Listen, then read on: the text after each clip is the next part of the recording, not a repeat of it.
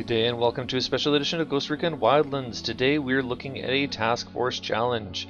Task Force Challenge is extreme difficulty, run over a boss. How are we going to do that? Well, it's pretty simple. Don't look at this. This I have to figure out. I know how to do it, I just need another body, another person to help me out with it. Um, yeah, so I'm going to go over this, then I'll explain why this is such a pain in the butt, and we'll go from there.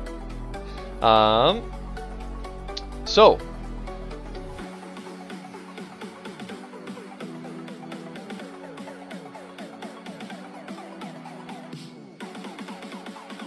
Alright, now we got El. And we're going to take him. And we're going to put him in a position of vulnerability. I'm sorry, El. I keep going back to you for uh, for cheeses, but uh, it says to run over a boss, so let's run over a boss. We'll put him over at the entrance here. Right here. And let's hope that he stays there. Yep, he's staying there. Get a good run up. And that is the Task Force ch challenge complete right here. it's terrible, I get it, but that is it.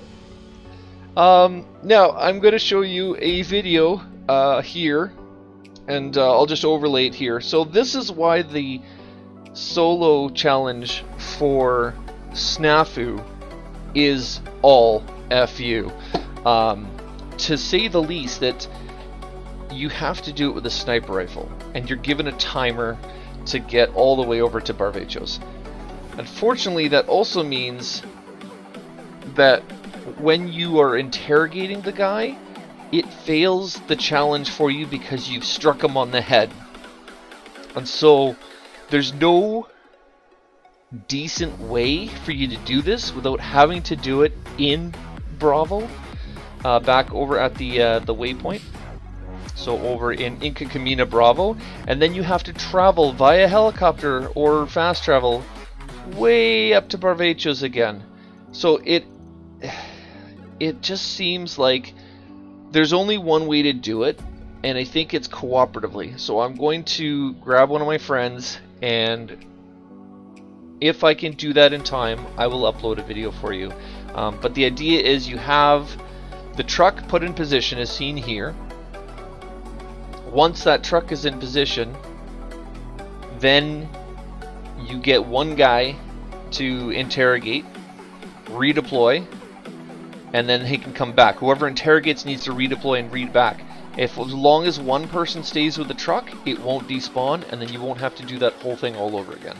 And then you can just clear out, stay in the vicinity of. You just have to um, watch for helicopters that, that might pose a, a threat above.